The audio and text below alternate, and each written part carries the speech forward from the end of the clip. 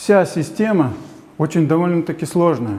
көлөмү жана көрүнүшү жагынан дагы чырмалышкан техниканы элестеткен бул аппарат жаңы жабдыктын негизги бөлүгү же баш мээси деп атасак болот татаал система аркылуу кынапталган техника адамдагы рак илдетин өзү таап дарылайт Электронный ускоритель электрондук тездетүүчү система эң жогорку чыңалуудагы энергия менен иштегендиктен желдетүүчү жана башка керектүү жабдыктары менен кошо каралган. Система өтө татаал болгондуктан өтө этияттык мамилени жана тактыкты талап кылат. Бул жердеги баардык система компьютерге туташтырылган. Коллиматор коллиматордун ичинде млк дегени бар. Бул млк ар бир өзү мынтип кыймылдап турат. Органга жараша шишикке жараша кыймылдап турат. Анткесе шишиктин размери болот. Ошого жараша бул өзү кыймылдап иштейт. Ылдый түшүп өйдө көтөрөт пациент жатат. Столдун бети углепластик бул ары жана бери жылалат. Жана бул ар кайсы түрдү эмесин градуста кыймылдай алат.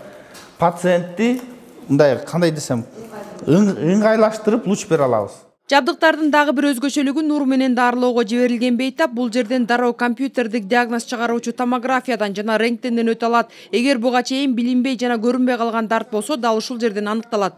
Эки үч жылдан бери ооларга кем мындай кемчилик болуп атат да ушу дарылашындачы дарылашуу методдорунда. Ушу аппараттын жоктугунан. Мына азыр жаңы аппарат келиптир жыйырманчы жылы чыгарылган аппарат экен великобританиядан чыккан жакшы аппарат экен бул коюп берсе бизге абдан жакшы болот. Особенно бул ички органдардын кызыл өңгөчтүн өпкөнүн ичегинин түз ичегинин жатын ишиктери ушунун баары ушул аппараттар менен дарыланат да. Бул абдан чоң кызмат кылат биздин элибиз үчүн.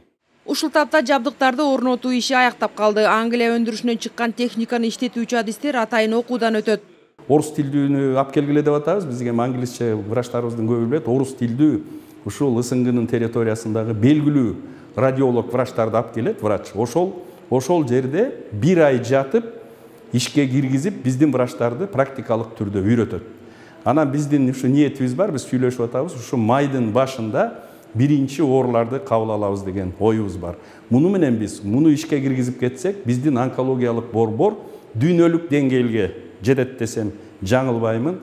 Бул эки жаңы жабдык иштеп жатканда өтө зыяндуу радиацияны бөлүп чыгарат андыктан бейтаптарды дарылоо учурунда дарыгерлер аларды жаткызат дагы бейтаптар жаткан бункерлер толугу менен жабылат. Өзүңүздөр көрүп турасыздар мына беш тонна оорундуктагы мындай коргоошунан жасалган эшиктер жабылат дагы.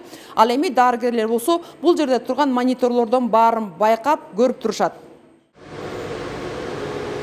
статистика боюнча учурда жыйырма беш миң адам рак илдетине чалдыгып улуттук онкология борборунда каттоодо турса алардын сексен пайызы дал ушул нурлануу менен дарылоого муктаж. Буга чейин бейтаптар мындай нур менен дарылануу үчүн чет мамлекеттерге барып бир топ чыгымга учурап келсе эми май айынан баштап кыргызстандан бекер дарыланууга болот